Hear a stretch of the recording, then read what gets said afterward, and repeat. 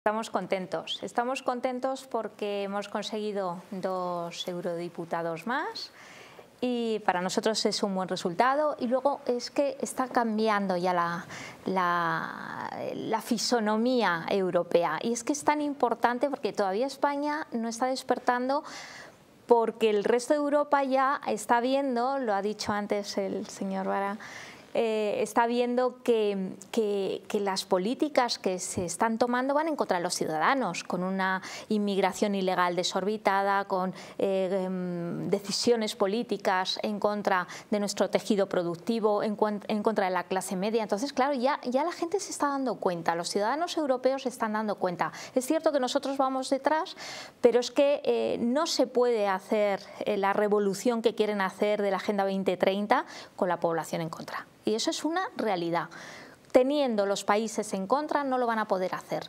Y entonces ese cambio que se está produciendo ya en Europa, donde ya no se cree en eso de la ultraderecha y que si somos fascistas y que si somos nazis, es que nos han llamado de todo, es que no, es que somos, somos ciudadanos que lo que queremos es, lo primero, lo primero, libertad. Un, partido conservador. Democracia. bueno, eh, a ver, nosotros eh, veníamos eh, de, ser el PP. O sea, yo he sido votante del PP. Pero nosotros queremos defender pues, cosas tan básicas como la vida, la propiedad, la libertad, la democracia, que esta Agenda 2030 que defiende la, defiende la señora von der Leyen es la destrucción de la democracia y aquí tenemos a Pedro Sánchez destruyendo la democracia, la separación de poderes y entonces estamos luchando por cosas importantísimas. Es verdad que no estamos inmersos en una guerra como hace 80 o 90 años de fusil, pero estamos inmensos en, eh, inmersos en una batalla terrible de lucha por la libertad y parece mentira que aquellos que se están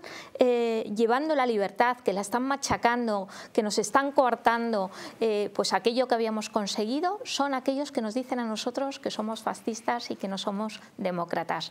Pero Europa está despertando y nosotros estamos contentos con el resultado.